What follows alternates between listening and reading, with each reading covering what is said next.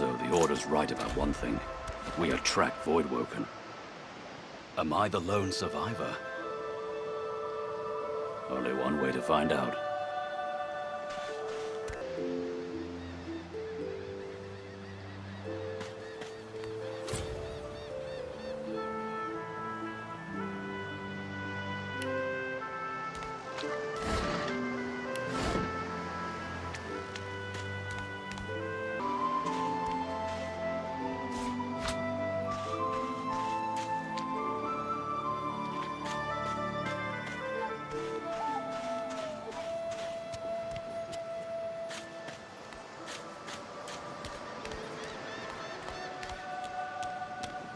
Any man who put his likeness in stone is a fool in my book.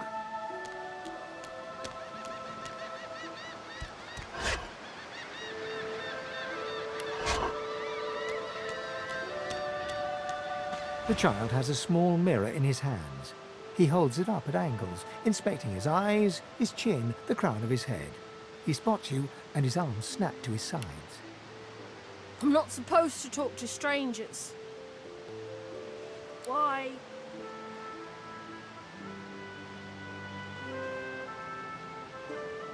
But are you a sorcerer?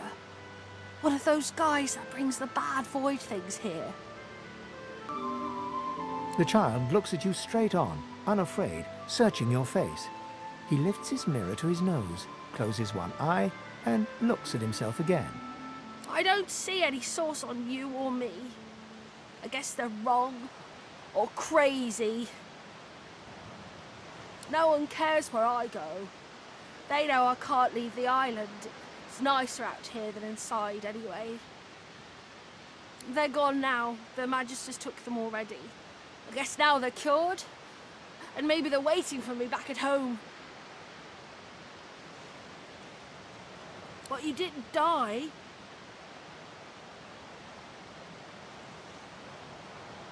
Guess I am, but it's just normal to be scared. Nowhere isn't scary. There isn't anywhere safer. That's what I mean. You'll see.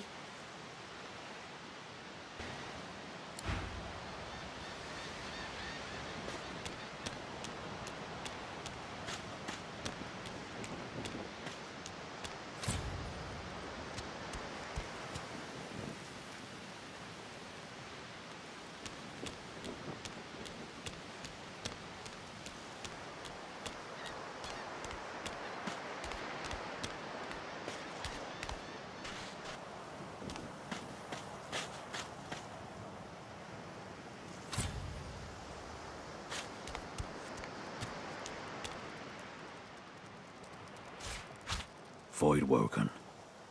Those are the same beasts that sank our ship. Damn. They made it to shore.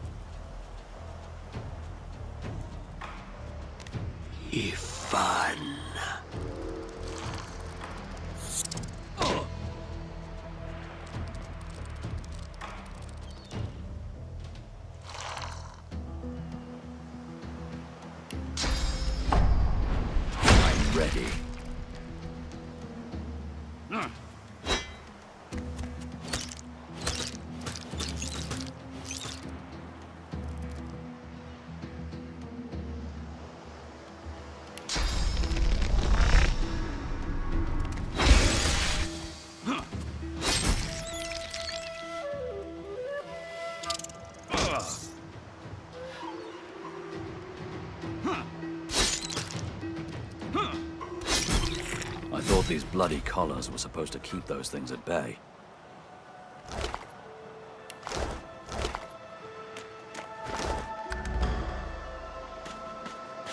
The face is familiar. What's left of it. He was aboard the ship.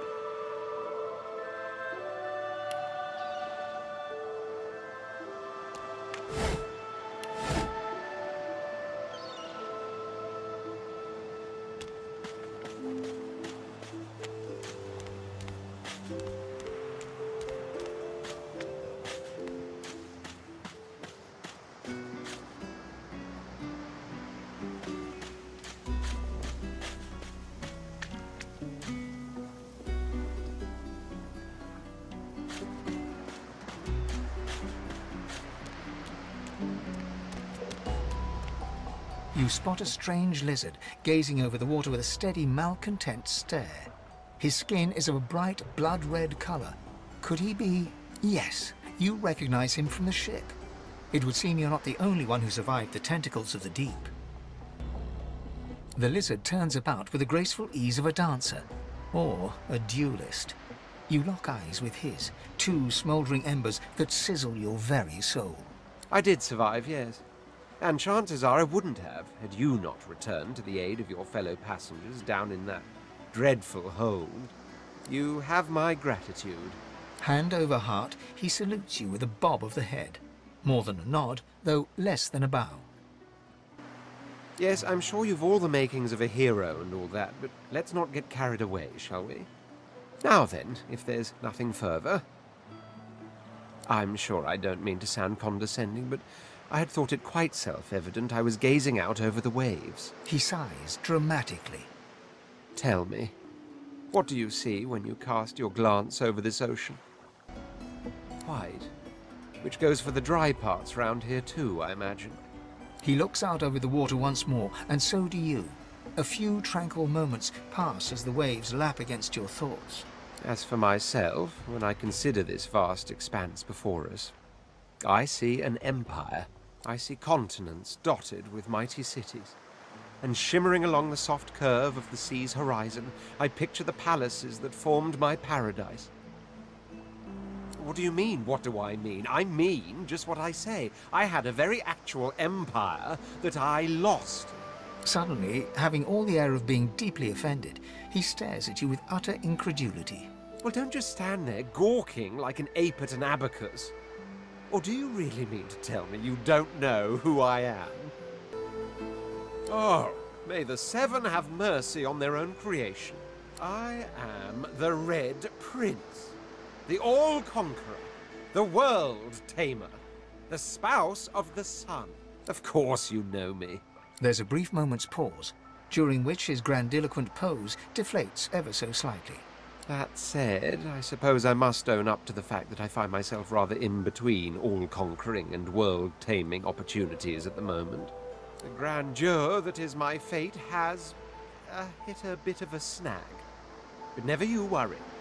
For the throne I was destined, and my throne I shall have. Truly. A kind offer indeed. And you've already proven to be trustworthy enough. You came back for the others on that ship, after all. Fine, I accept. On one condition. For reasons I'll not disclose right now, it is imperative that I should meet with a dreamer, one of the mystics of my kind. I've reason to believe one of them may be present on this island. Promise me we'll look for him, and I'll extend you the blessing of my company. You do tend to beat around the bush, don't you? Oh well, that wishy-washy answer will have to do then. So, now that that's settled, first things first. Even if you are as versed in the art of eloquence as I am, that our swords will be doing a lot of the talking from here on out goes without saying. As a born fighter, I prefer the perfection of the blade myself. But I'm well acquainted with the secrets of magic and, yes, even subterfuge. What say you? Very well. Onwards then to victory or death. The Red Prince nods and gives you a smile that wavers ever so delicately between courtesy and contempt. Now, as you're aware, you'll be travelling with a prince. Proper forms of address include Your Majesty, Your Royal Highness, or, or if you're feeling particularly frivolous, Milord. As your luck would have it, I seem to be fresh out of luggage, so you won't be required to carry my belongings. Of course, there are other forms of protocol to bear in mind, but I'll see to it you'll pick up the rest as we go. So, without further ado, let us be off.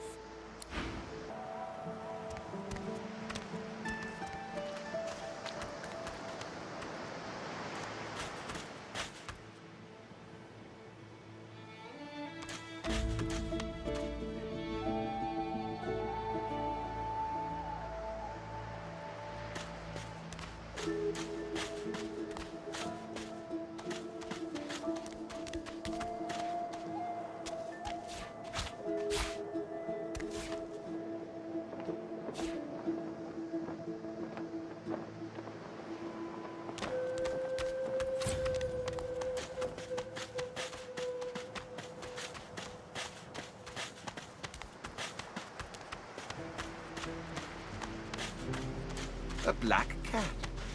A herald of wisdom in my homeland. How fortuitous.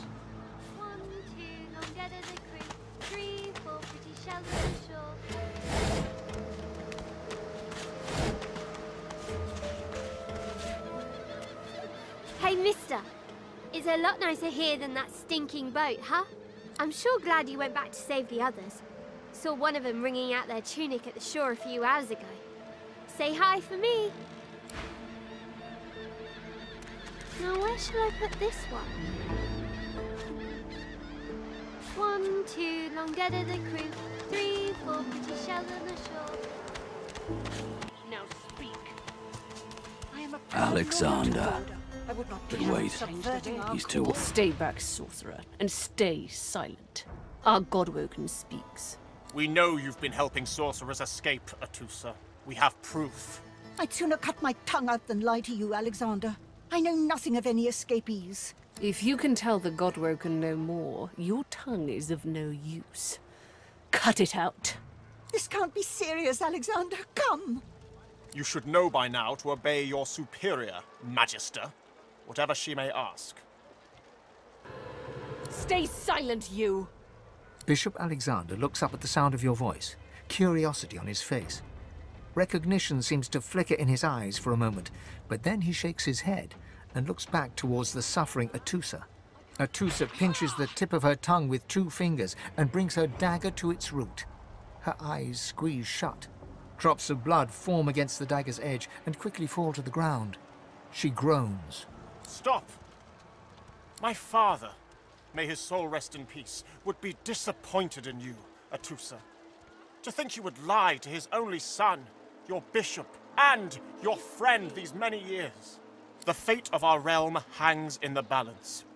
If you will not help us save it, then you will help the Void destroy it. Dallis, Yes, your holiness? I believe we're done here.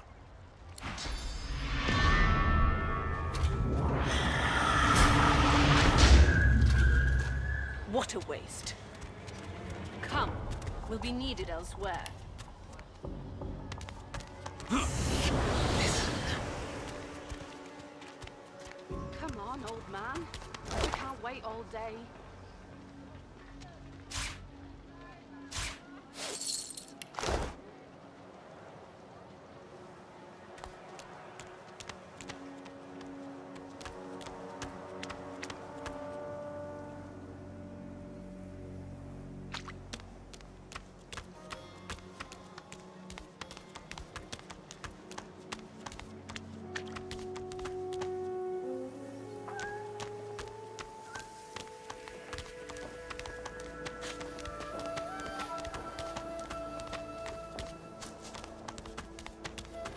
Spotted something.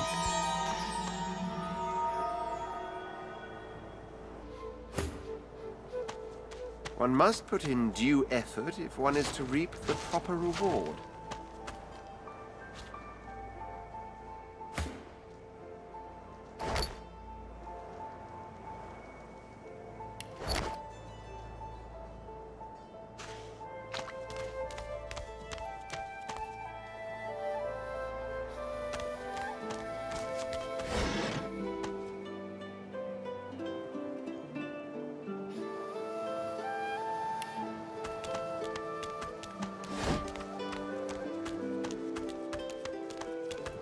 this leads.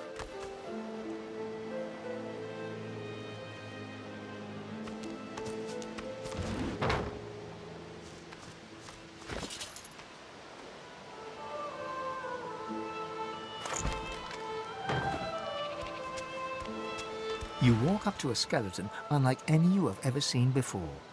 His skull seems to be carved into intricate patterns with a gemstone sitting in the middle of his forehead. Approaching, you hear a profane rumble from the undead beast. Bugger. How on earth am I supposed to... Oh. Perhaps... Skeletal fingers reach down and grip the skin of the dead man's face, pulling sharply upwards. After a few more tugs at the man's cheeks, the skeleton relents, letting the head drop to the ground with a damp thud. Damnation. That stuck fast. I wonder, does the beard act as some form of anchor? Ah! No! Stay back! Don't... Oh, it's you. I must admit I'm surprised. Perhaps you're more buoyant than I suspected. Oh, yes. An exceptionally common, but exceptionally valuable commodity. A face. A face that seems rather stubbornly attached to his skull. I would normally employ a tool to delicately but viciously rip the face from the body. I could then craft a mask to hide my bone. But as I lack such a tool... The skeleton grabs the corpse by the cheeks and pulls hard, grunting in frustration as the body's skin holds firm. Because my own was stolen from me. And the idea of being chased across Rivellon by every idiot with a torch does not appeal. Oh, get away! Monster! Hide the children! Oh. You are simple beasts. And you simply do not like my... Well, not my kind, but those that look like me. So, if I am to traverse this land, I will need a mask to disguise my features. Oh, don't be ridiculous. I have important things to do on Reaper's Coast. I cannot simply sit about waiting for the rest of you to die so I may continue my business in peace. No. I may be an eternal, but my patience has its limits. Indeed. I may be the only eternal. My people seem rather... absent. At least from this realm. As for the others... Well... There is an excavation site at the Black Pits oil fields. Perhaps there I'll find my answers. A cult? Hardly. We were a race that existed before the idea of race was needed. We were all one. I could ask you to imagine an Eternal as a creature of incredible intelligence and skill. But I fear the limits of your imagination would not do us justice. We studied the mysteries of the universe. We created works of great art. We... We disappeared. But I will find them. Wherever they are, I will find them. We will have our world again. Ah, well, that is the curious thing. They are clearly absent from this world, and yet they are everywhere. Every one of your races resembles them in some manner, and the statues you have built to your gods look remarkably familiar. Perhaps my people have ascended to some new realm. Or perhaps your gods are merely a folk memory. Regardless, they are not here. But I will find them. Wherever they are, I will find them. I suppose, circumstances being what they are, it could be advantageous. You seem more at ease in this world than I. A guide would certainly be useful. Excellent. While we are conversing, perhaps you notice that I am rather skilled in, well, all things. Of course, the arcane arts are my little speciality, but being a brilliant wizard does not mean I cannot handle blade or bow. So, which do you require for this enterprise of yours? I could do that with one hand behind my spine. Now, shall we get on? There is rather a lot to see. Splendid. Very well. Let's be off.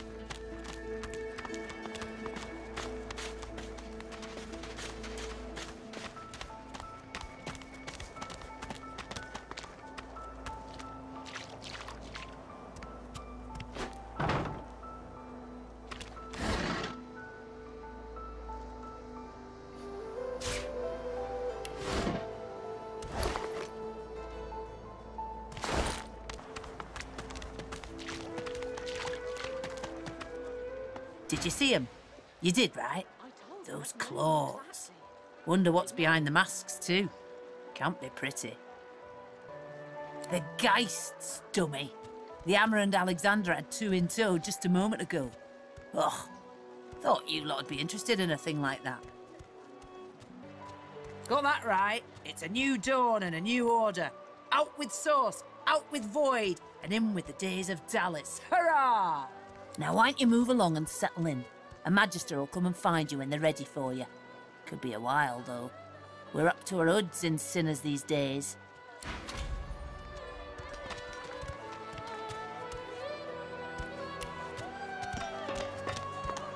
Come on then, Lexi. Pay up. I find only bread. I want Did you see them, sir? Bishop Alexandar and the hammer herself, they, they, they were so close, almost within arm's reach. They were just there, just there but a moment ago. Disgusting. Just like all your kind. Disgusting like theft? Disgusting like threats? Come Great on, old man. Will you I quit dragging this all day.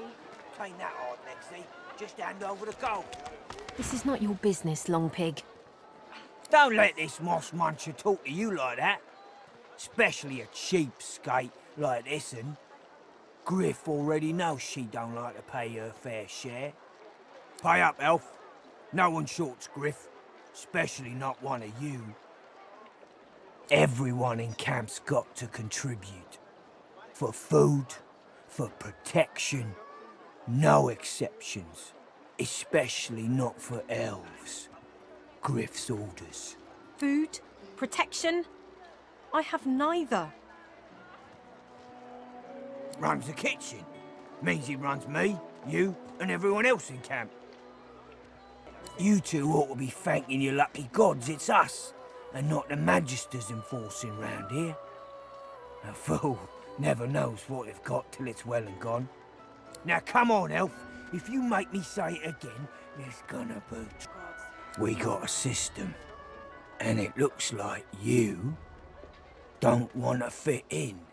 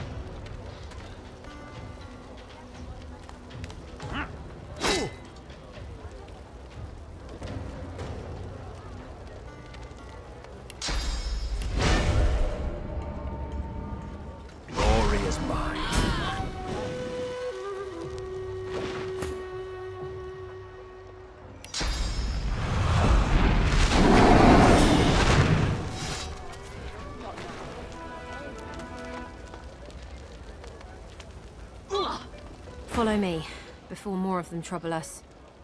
There is a safe place.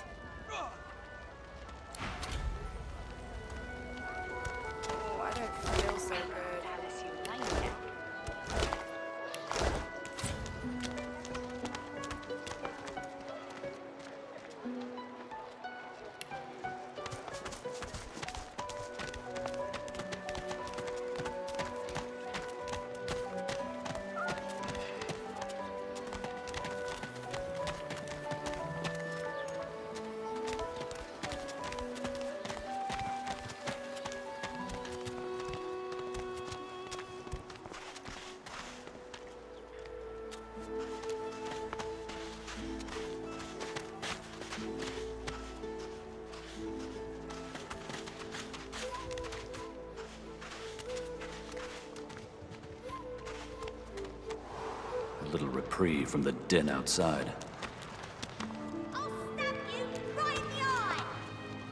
Wait, I called a timeout. Thank you for your help with that, thug. Rare is the human who goes against their own for an elf. She bows.